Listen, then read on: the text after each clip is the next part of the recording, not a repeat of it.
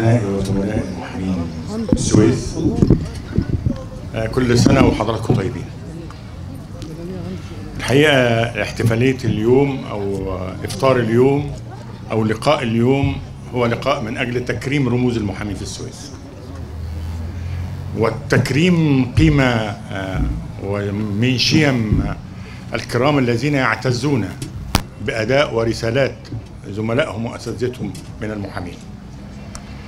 ولا بد ان إحنا نعظم من من هذه الاحتفالية ليست احتفالية شكلية بقدر أن نقدم هديه آه، متواضعة أو قيمة لمن نكرمه أو نصوره وإنما القيمة الحقيقية في التكريم هو أن تسبق آه، سيرة هذا المكرم لدى جموع المحامين من الشباب حتى يكون عبرة آه، ويكون هناك اعتبار لتجربة مهنية رفيعة تستأهل التقدير وتستأهل أيضا الاقتداء.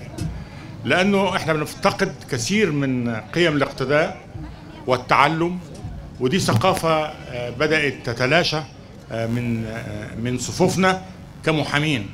وأنا كنت دائما أحذر أبناء المحامين الشباب وهم في مقتبل حياتهم وقبل أن يحلفوا اليمين القانونية للمحاماة أو لممارسة المحاماة كثيرا ما أنبه على قيم المحاماة وتقاليدها.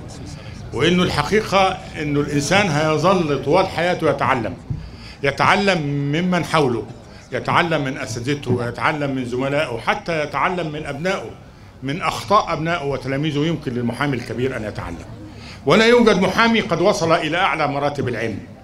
الذي يظن نفسه أنه وصل إلى علم غير منتهي آه، لا أعتقد أنه يعلم شيء وإنما الحقيقة إن إحنا طوال حياتنا باحثين عن العلم وباحثين عن الحقيقة وباحثين عن العدالة بكل مشاكلها وبكل مقتضياتها.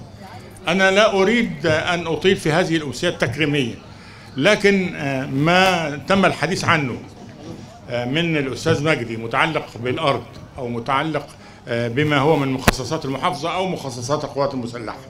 وأيضا الحديث اللي قاله الأستاذ آه، سعيد نقيب السويس. إحنا كنقابه عامه وكلامنا واضح. هنتبنى أي استثمار أي استثمار يكون في هذا المكان أو داخل مبنى نقابة المحامين في قاعات ال- الحفلات أو الاحتفالات المختلفة. بشرط أن يكون هذا الاستثمار تحت إشراف النقابة العامة. يستمتع به محامي السويس ويستفيد به كل المحامين المصريين إذا جاءوا إلى هذا المكان. لكن أيضا الإدارة الرشيدة الاقتصادية لل- واستغلال العوائد بما يعود على صندوق المعاشات والرعاية الاجتماعية اللي بتخص كل المحامين مش بس في السويس في كل أنحاء الجمهورية باعتبار أن ما ينفق من أموال نقابة المحامين يجب أن يكون له عوائد حقيقية تعود إلى المحامين. وأنا بأعلن التزام نقابة المحامين نقيبا واعضاء بأي استثمار يتم لمحامين السويس على أعلى مستوى من الاستثمار. شريطة أن يدار بقواعد الاستثمار أخيرا آه، آه، كل التحية لحضراتكم. أنا يعني أنا شايف حضور المترقب الحريص على على التكريم في هذه الأيام الكريمة العظيمة الجليلة اللي إحنا آه، بنحياها خلال هذا الشهر.